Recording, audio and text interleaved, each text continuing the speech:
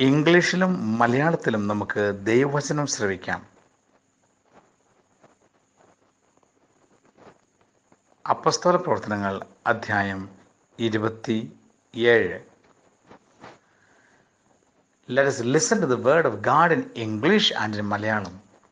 The Acts of the Apostles, chapter 27.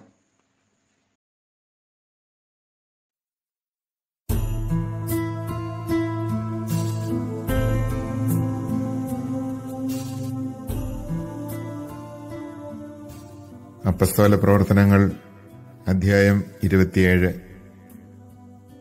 ഞങ്ങൾ ഇറ്റലിയിലേക്ക് കപ്പലിൽ പോകണമെന്ന് തീരുമാനമുണ്ടായി. അവർ പൗലോസിനെയും മറ്റു ചില തടവുകാരെയും സെബാസ്തെ സൈന്യവിഭാഗത്തിന്റെ ശതാധിപനായ ജൂലിയൂസിനെ ഏൽപ്പിച്ചു. ഞങ്ങൾ അതിരാമീത്തിയാത്തിൽ നിന്നുള്ള ഒരു കപ്പലിൽ കയറി. അത് ഏഷ്യയുടെ തീരത്തുള്ള തുറമുഖങ്ങളിലേക്ക് പോകുന്നതായിരുന്നു. ഞങ്ങൾ യാത്ര പുറപ്പെട്ടപ്പോൾ തെസലോനിക്ക നഗരവാസിയും മെക്കതോനിയക്കാരനുമായ അരിസ്താർക്കൂസും ഞങ്ങളോടുകൂടെ ഉണ്ടായിരുന്നു. പിറ്റേ ദിവസം ഞങ്ങൾ സീതോനിലിറങ്ങി ജൂലിയൂസ് പൗലോസിനോട് ദയാപൂർവം പെരുമാറുകയും സ്നേഹിതരുടെ അടുക്കൽ പോകുന്നതിനും അവരുടെ ആതിഥ്യം സ്വീകരിക്കുന്നതിനും അവനെ അനുവദിക്കുകയും ചെയ്തു. അവിടെ നിന്ന് ഞങ്ങൾ യാത്ര തിരിച്ചു. കാറ്റ് പ്രതികൂലമായിരുന്നതിനാൽ സൈപ്രസിനടുത്തുകൂടെയാണ് പോയത്. കിലിക്കിയായുടെയും പാംഫിലിയായുടെയും അടുത്തുള്ള സമുദ്രഭാഗങ്ങൾ കടന്ന് ഞങ്ങൾ ലിക്കിയായിലെ മീറായിലെത്തി. ഇറ്റലിയിലേക്ക് പോകുന്ന ഒരു അലക്സാണ്ട്രിയൻ കപ്പൽ അവിടെ കിടക്കുന്നത് കണ്ടു. ശതാധിപൻ ഞങ്ങളെ അതിൽ കയറ്റി. ഞങ്ങൾ കുറച്ചധികം ദിവസം മന്ദഗതിയിൽ യാത്ര ചെയ്ത് വളരെ പ്രയാസപ്പെട്ട് ക്നീദോസിനെതിരെ എത്തി. മുന്നോട്ടു പോകാൻ കാറ്റ് അനുവദിക്കായകയാൽ സൽമോനയുടെ എതിർവശത്തുകൂടെ ക്രേത്തയുടെ തീരം ചേർന്ന് നീങ്ങി. അതിന് സമീപത്തിലൂടെ ദുർഘട യാത്രയെ തുടർന്ന് ശുഭതുറമുഖങ്ങൾ എന്നു പേരുള്ള സ്ഥലത്തെത്തി. ലാസായിയ പട്ടണം അതിന് സമീപമാണ്. സമയം വളരെയേറെ നഷ്ടപ്പെട്ടു കഴിഞ്ഞിരുന്നു. ഉപവാസകാലം അവസാനിക്കുകയും ചെയ്തു. അപ്പോൾ യാത്ര ചെയ്യുക അപകടപൂർണവുമായിരുന്നു. അതിനാൽ പൗലോസ് അവരോട് ഇങ്ങനെ ഉപദേശിച്ചു. മാന്യരെ നമ്മുടെ ഈ കപ്പൽ യാത്ര കപ്പലിനും ചരക്കിനും മാത്രമല്ല നമ്മുടെ ജീവന് തന്നെയും നഷ്ടവും അപകടവും വരുത്തുമെന്ന് ഞാൻ കാണുന്നു. എന്നാൽ ശതാധിപൻ പൗരസിന്റെ വാക്കുകളെ അല്ല കപ്പിത്താനെയും കപ്പലുടമയുമാണ് അനുസരിച്ചത്. ആ തുറമുഖം ശൈത്യകാലം ചെലവഴിക്കാൻ പറ്റിയതല്ലാത്തതിനാൽ അവിടെ നിന്ന് പുറപ്പെട്ട് കഴിയുമെങ്കിൽ ഫേനിക്സിലെത്തി ശൈത്യകാലം അവിടെ കഴിയണമെന്ന് മിക്കവരും അഭിപ്രായപ്പെട്ടു. ക്രേത്തയിലെ ഈ തുറമുഖത്തിന്റെ വടക്ക് പടിഞ്ഞാറും തെക്ക് പടിഞ്ഞാറും ഭാഗങ്ങൾ കടലിലേക്ക് തുറന്നു കിടന്നിരുന്നു. തെക്കൻ കാറ്റ് മന്ദമായി വീശി തുടങ്ങിയപ്പോൾ തങ്ങളുടെ ഉദ്ദേശം സാധ്യതപ്രായമായി എന്ന ചിന്തയോടെ അവർ നങ്കൂരം ഉയർത്തി ക്രേത്തയുടെ തീരം ചേർന്ന് യാത്ര തുടർന്നു. എന്നാൽ പൊടുന്നനെ വടക്കുകിഴക്കൻ എന്ന് വിളിക്കപ്പെടുന്ന കൊടുങ്കാറ്റ് കരയിൽ നിന്ന് ആഞ്ഞടിച്ചു. കപ്പൽ കൊടുങ്കാറ്റിലകപ്പെട്ടു. കാറ്റിനെ എതിർത്തു നിൽക്കാൻ അതിന് കഴിഞ്ഞില്ല. അതിനാൽ ഞങ്ങൾ കാറ്റിന് വഴങ്ങി അതിന്റെ വഴിക്ക് തന്നെ പോയി. ക്ലൗദ എന്ന് വിളിക്കപ്പെടുന്ന ദ്വീപിന്റെ അരികെ ചേർത്ത് കപ്പലോടിക്കുമ്പോൾ കപ്പലിനോട് ബന്ധിച്ചിരുന്ന തോണി വളരെ പ്രയാസപ്പെട്ടാണ് നിയന്ത്രണാധീനമാക്കിയത്. അവർ അത് എടുത്തുയർത്തി കപ്പലിനോട് ചേർത്ത് കെട്ടിയുറപ്പിച്ചു പിന്നെ സിർത്തീസ് തീരത്ത് ആഴം കുറഞ്ഞ സ്ഥലങ്ങളിൽ കപ്പൽ ഉറച്ചു പോകുമോ എന്ന് ഭയപ്പെട്ട് കപ്പൽ പായകൾ താഴ്ത്തി കാറ്റിന്റെ വഴിക്ക് കപ്പൽ നീങ്ങിക്കൊണ്ടിരുന്നു. വലിയ കൊടുങ്കാറ്റിൽപ്പെട്ട് കപ്പൽ ആടി ഉലഞ്ഞതിനാൽ അടുത്ത ദിവസം അവർ ചരക്കുകൾ കടലിൽ എറിയാൻ തുടങ്ങി. മൂന്നാം ദിവസം അവർ സ്വന്തം കൈകൊണ്ട് കപ്പൽ പായകളും വലിച്ചെറിഞ്ഞു. വളരെ ദിവസങ്ങളായി സൂര്യനോ നക്ഷത്രങ്ങളോ പ്രത്യക്ഷപ്പെട്ടിരുന്നില്ല. കൊടുങ്കാറ്റ് ആഞ്ഞടിച്ചുകൊണ്ടിരുന്നതിനാൽ രക്ഷപ്പെടാവുന്ന ആശ തന്നെ ഞങ്ങൾ കൈവെടിഞ്ഞു. പല ദിവസങ്ങൾ ഭക്ഷണമില്ലാതെ കഴിയേണ്ടി വന്നപ്പോൾ പൗലോസ് അവരുടെ മധ്യേ നിന്ന് പറഞ്ഞു ജനങ്ങളെ നിങ്ങൾ എന്റെ വാക്ക് കേൾക്കേണ്ടതായിരുന്നു. ക്രേത്തയിൽ നിന്ന് യാത്ര തിരിക്കുകയേ അരുതായിരുന്നു. എങ്കിൽ ഈ നാശങ്ങൾ സംഭവിക്കുമായിരുന്നില്ല. എന്നാൽ ഇപ്പോൾ ധൈര്യമായിരിക്കണമെന്ന് നിങ്ങളോട് ഞാൻ ഉപദേശിക്കുന്നു. കപ്പൽ തകർന്നു പോകുമെന്നല്ലാതെ നിങ്ങൾക്കാർക്കും ജീവഹാനി സംഭവിക്കുകയില്ല. എന്തെന്നാൽ ഞാൻ ആരാധിക്കുന്നവനും എന്റെ ഉടയവനുമായ ദൈവത്തിന്റെ ഒരു ദൂതൻ ഈ കഴിഞ്ഞ രാത്രി എനിക്ക് പ്രത്യക്ഷപ്പെട്ട് പറഞ്ഞു പൗലോസ് നീ ഭയപ്പെടണ്ട. സീസറിന്റെ മുമ്പിൽ നീ നിൽക്കുക തന്നെ ചെയ്യും. നിന്നോടൊപ്പം യാത്ര ചെയ്യുന്നവരെയും ദൈവം നിനക്ക് വിട്ടു തന്നിരിക്കുന്നു. അതിനാൽ ജനങ്ങളെ നിങ്ങൾ ധൈര്യമായിരിക്കുവിൻ. എന്നോട് പറഞ്ഞതെല്ലാം അതുപോലെ സംഭവിക്കും എന്ന് എന്റെ ദൈവത്തിൽ ഞാൻ വിശ്വസിക്കുന്നു. ഒരു ദ്വീപിൽ നാം ചെന്നു പറ്റും.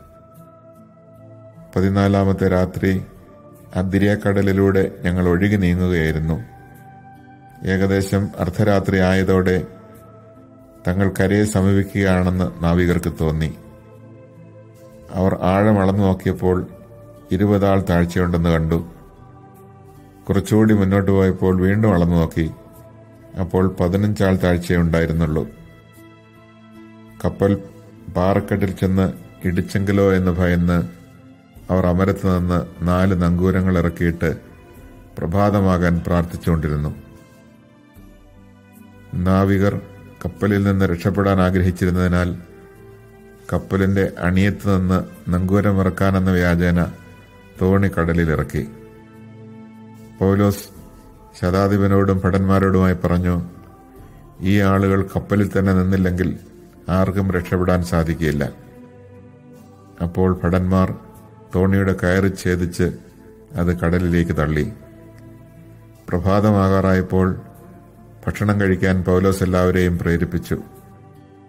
അവൻ പറഞ്ഞു നിങ്ങൾ ഉത്കണ്ഠാകുലരായി ഒന്നും ഭക്ഷിക്കാതെ കഴിയാൻ തുടങ്ങിയിട്ട് പതിനാല് ദിവസമായല്ലോ. അതിനാൽ വല്ലതും ഭക്ഷിക്കാൻ നിങ്ങളോട് ഞാൻ അഭ്യർത്ഥിക്കുന്നു. അത് നിങ്ങൾക്ക് ശക്തി പകരും.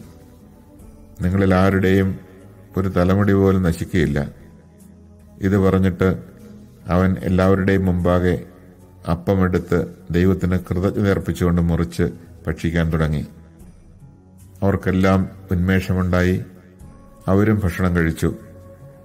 കപ്പലിൽ ഞങ്ങളാകെ ഇരുന്നൂറ്റി എഴുപത്തി ആറ് പേർ ഉണ്ടായിരുന്നു അവർ മതിയാവോളം ഭക്ഷിച്ചു കഴിഞ്ഞപ്പോൾ ഗോതമ്പ് കടലിലേക്ക് എറിഞ്ഞ് കപ്പലിന് ഭാരം കുറച്ചു. പ്രഭാതമായപ്പോൾ അവർ സ്ഥലം തിരിച്ചറിഞ്ഞില്ലെങ്കിലും മണൽത്തിട്ടകളോടുകൂടിയ ഒരു ഉൾക്കടൽ കണ്ടു. കഴിയുമെങ്കിൽ അവിടെ കപ്പലടിപ്പിക്കാൻ അവർ ആഗ്രഹിച്ചു. അവർ നങ്കൂരങ്ങൾ അറുത്ത് കടലിൽ തള്ളി ചുക്കാൻ ബന്ധിച്ചിരുന്ന കയറുകളും അയച്ചു. കാറ്റിനനുസരിച്ച് പായ ഉയർത്തിക്കെട്ടി തീരത്തേക്ക് നീങ്ങി. മുന്നോട്ട് നീങ്ങിയ കപ്പൽ തള്ളി നിന്ന തിട്ടയിൽ ചെന്നുറച്ചു. കപ്പലിന്റെ അണിയം മണ്ണിൽ പുതഞ്ഞ് ചലനരഹിതമായി അമരം തിരമാലയിൽപ്പെട്ട് തകർന്നുപോയി. തടവുകാർ നീന്തി രക്ഷപ്പെടാതിരിക്കാൻ അവരെ കൊന്നുകളയണമെന്നായിരുന്നു ഭടന്മാരുടെ തീരുമാനം. പൗലോസിനെ രക്ഷിക്കണമെന്ന് ആഗ്രഹിച്ച ശതാധിപൻ ആ ഉദ്യമത്തിൽ നിന്ന് അവരെ തടഞ്ഞു. നീന്തൽ വശമുള്ളവരെല്ലാം ആദ്യം കപ്പലിൽ നിന്ന് ചാടിയും മറ്റുള്ളവർ പലകളിലോ കപ്പലിന്റെ കഷ്ണങ്ങളിലോ പിടിച്ചും നീന്തി കരവറ്റാൻ അവൻ ആജ്ഞാപിച്ചു. അങ്ങനെ എല്ലാവരും സുരക്ഷിതരായി കരയിലെത്തി.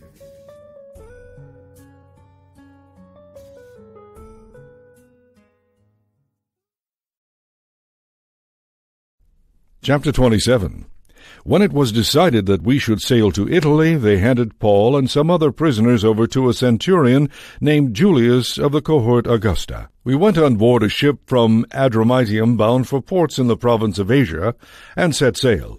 Aristarchus, a Macedonian from Thessalonica, was with us. On the following day we put in at Sidon, where Julius was kind enough to allow Paul to visit his friends who took care of him.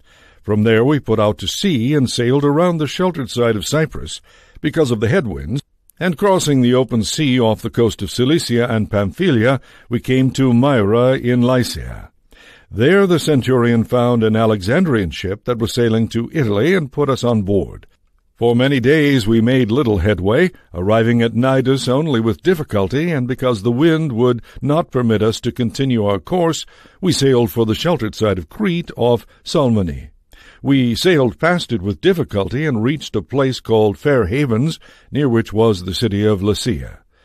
Much time had now passed, and sailing had become hazardous, because the time of the fast had already gone by. So Paul warned them, Men, I can see that this voyage will result in severe damage and heavy loss not only to the cargo on the ship, but also to our lives. The centurion, however, paid more attention to the pilot and to the owner of the ship than to what Paul said. Since the harbor was unfavorably situated for spending the winter, the majority planned to put out to sea from there in the hope of reaching Phoenix, a port in Crete facing west-northwest, there to spend the winter.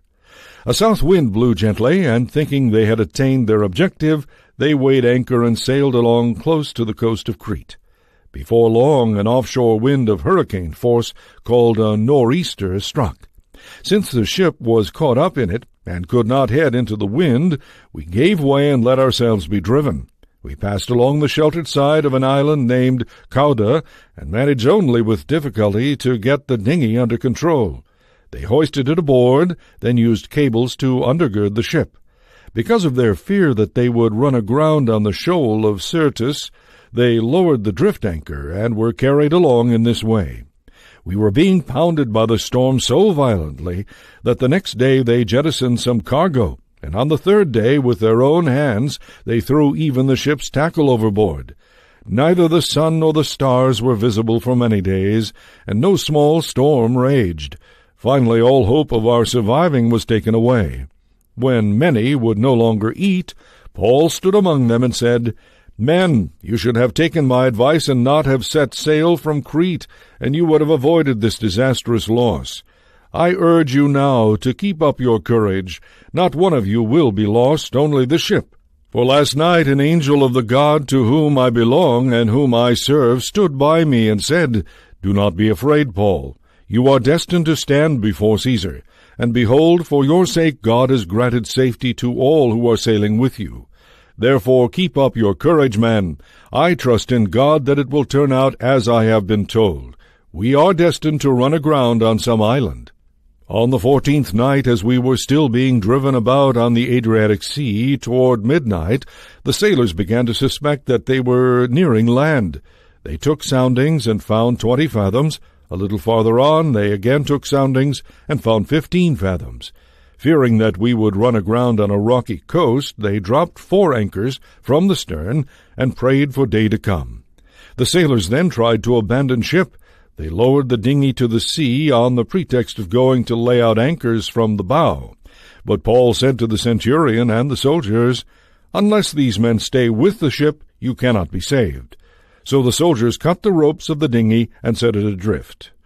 Until the day began to dawn, Paul kept urging all to take some food. He said, Today is the fourteenth day that you have been waiting, going hungry and eating nothing.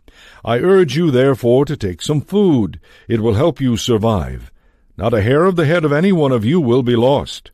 When he said this, he took bread, gave thanks to God in front of them all, broke it, and began to eat. They were all encouraged and took some food themselves. In all, there were two hundred seventy-six of us on the ship.